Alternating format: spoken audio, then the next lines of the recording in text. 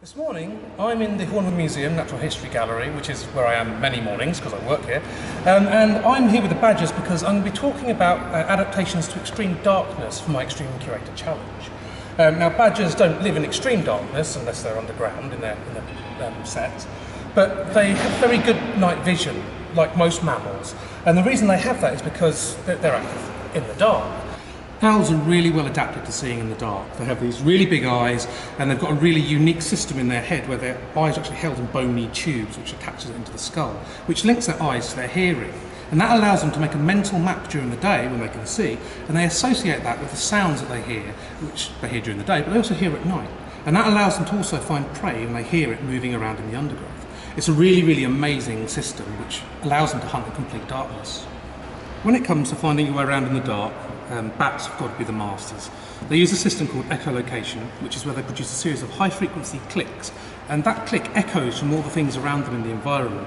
And they detect the echoes of those clicks um, through their big ears, and then build a mental map of the world around them that, that's constantly changing and in three dimensions. And it allows them to basically see in a very similar way to, to the way which we see with our eyes.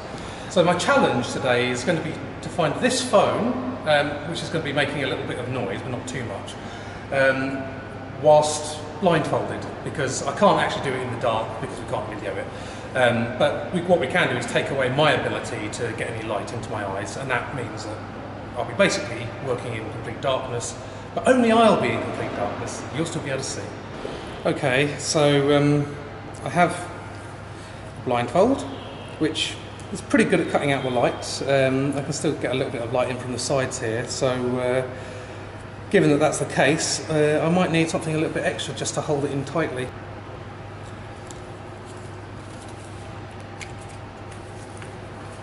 Okay, now I think it's fair to say that there is absolutely no light getting into my eyes at all. Um, I can't see a thing. So I can use my hand to feel around, which is like what a mole would do, for example, uses its uh, whiskers and, and touch sensitive uh, uh, nose to find its way around in the dark. Or I can try using echolocation, um, which is what I'm going to give it a go now. That, there's an echo there, which sounds less echoey here.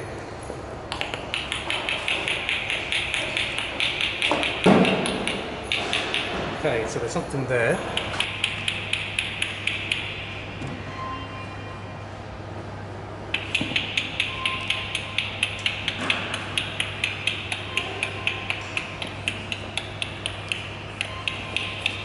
In a box.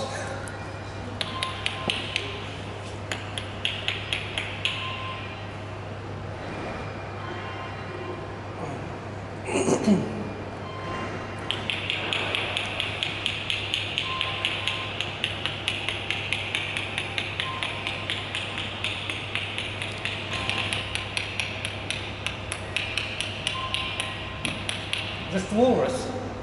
Right, it is the walrus. Okay, I'm gonna.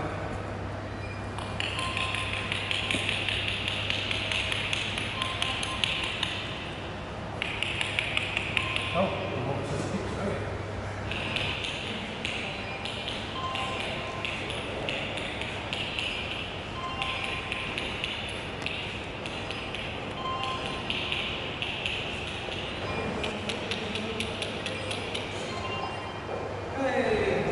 Well, that was a real challenge. Um, losing one of your senses um, and being plunged into complete darkness uh, makes it really hard to do anything. You get to complete turned around. And for animals that live in those sorts of environments, um, being able to survive without ever seeing is a remarkable feat.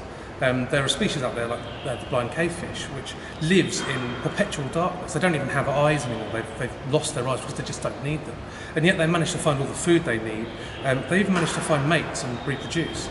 What's even more remarkable than animals that live in a completely dark environment are people who have lost their ability to see, but have adapted to live in a very busy modern world. Um, and a very, very small number of those people have, have actually become able to echolocate, um, which just means that there's a slight change in the way in which their brain processes information. And it means that they're able to actually see using sound. If you're interested in finding out more about organisms that live in extreme environments and how they adapt to those environments, come along to the Horniman Museum and Gardens for the Extremes exhibition that runs from the 15th of February.